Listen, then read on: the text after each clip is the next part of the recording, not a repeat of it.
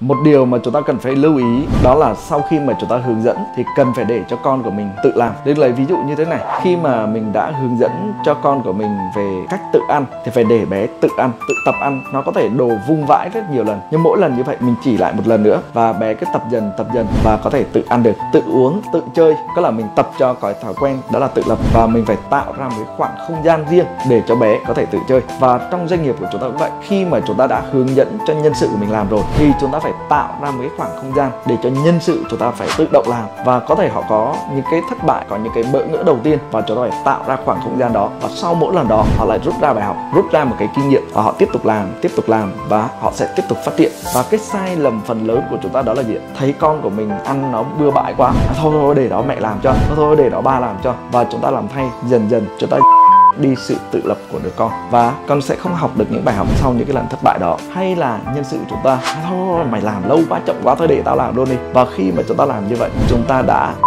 cái cơ hội tỏa sáng của họ cái cơ hội để thành công của họ. Nên kết lại đó là sau khi mà chúng ta hướng dẫn chúng ta cần phải tạo ra một cái khoảng không gian riêng cho nhân sự của chúng ta được vận hành. À, cũng giống như chúng ta tạo ra khoảng không gian riêng cho con của chúng ta tự trưởng thành và phát triển. Và bạn nghĩ như thế nào về điều này? Xin chào hẹn gặp lại.